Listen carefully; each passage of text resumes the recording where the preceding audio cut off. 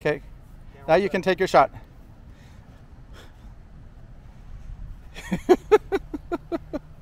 Come on, Charlie. Show me how it's done.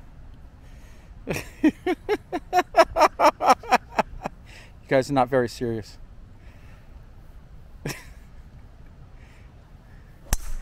Woo! Okay. I tell you, you would have done better if uh, if you didn't have uh, Dave behind you trying to goose you. All right, Dave. Do you take a shot? All right, Dave, come here. Take film me. All right. Do I have to? You don't have to, but I forgot my club. Oh.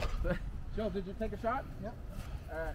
Speaking of shots, guys, Oh, that's right. You guys all forgot what you have to do, but let, me, let me take my my shot. bunch Now, I have to get everybody heads up.